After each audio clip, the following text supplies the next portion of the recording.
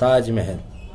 हिंदुस्तान में बहुत सी तारीखी इमारतें मसलन जामा मस्जिद, लाल किला, पुराना किला, कुतुब मीनार और ताजमहल वगैरह।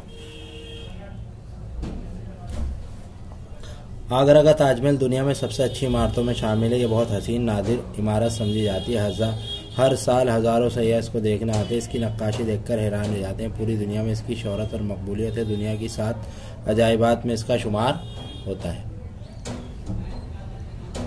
ताजमहल मुग़ल बादशाहों ने अपनी मलिका मुमताज़ मुग़ल बादशाह शाहजहां ने अपनी मलिका मुमताज़ महल की याद में बनवाया था। एशिया के बड़े बड़े कारीगर इसकी तामीर के लिए बुलाए गए थे। इसकी तामीर में करोड़ों रुपए खर्च हुआ था। लाहौर की शाही इंजीनियर अहमद का इसकी तामीर के लिए बुलाया गए थे।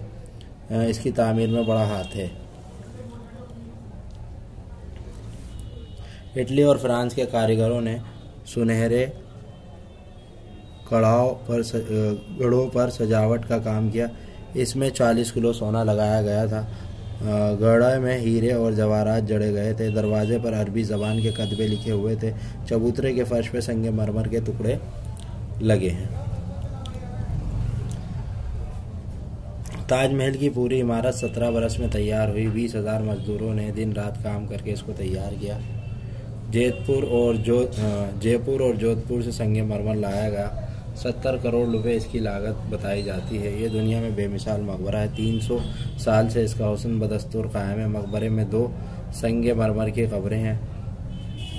असल कब्र नीचे तय खाने में एक कब्र मुमताज़ महल की, दूसरी शाहजहाँ की। इस कब्रों पर तारीख़ वफात कुनिंदा है। चांदनी रात में इस इमारत का हुसन दोबाला हो जाता है। लोग इसके हुसन को देखकर हैरत में पड़ जाते हैं। शाहजहां ने मकबरे की शक्ल में अपनी मोहब्बत को ज़िंदा जावेद बना दिया। ये बेमिसाल इमारत आगरा में जमुना के किनारे पर वाक़ है। उम्मीद है कि आपको वीडियो पसंद आ गई होगी ताजमहल पर अगर लिखने को आता है तो कैसे लिखेंगे? वीडियो पसंद आई तो लाइक करिए, शेयर करिए, कमेंट करिए, सब्सक्राइब करना ना भूलें। शुक्रिया।